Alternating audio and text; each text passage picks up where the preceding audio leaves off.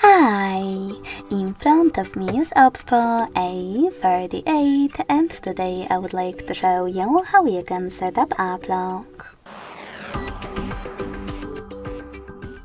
Begin by going into Devices Settings and scrolling all the way down to access Privacy section. Following that, tap on Privacy next to Permissions at the top right corner and tap on App Lock. Now select Got it in the pop-up and click on the switcher next to App Lock feature if it's not already on. If you don't have privacy password already, you need to set it up to use AppLock. In order to do that, click on Settings in the pop-up. Click on Use a different password type. And click on the best login method for your apps. 4 digits, 4 to 16 digits, pattern or alphanumeric. Whatever you decided when you're done, create your login method and repeat it in order to confirm it. Then set up your recovery email just in case and tap on confirm. You need to also answer security question at the top.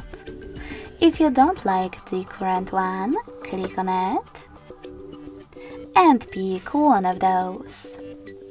If you don't like any of them, just click on the question and select Custom Question at the bottom. Then type in wherever you wish to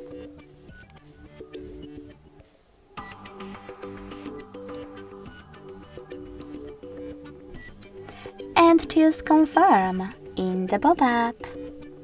Then answer the question correctly. And finally, select this check mark at the top right corner. Now you can lock all of your apps by tapping on the gray switchers next to the chosen ones. So when I do that and go back,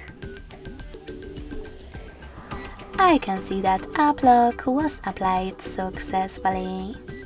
In order to disable it from previously chosen app, go into the same settings, enter your privacy password and tap on no blue switchers next to your apps. To disable app lock completely, hit the blue switcher next to it. Thanks so much for watching. If you enjoyed this video, don't forget to leave a like, comment and subscribe. Bye!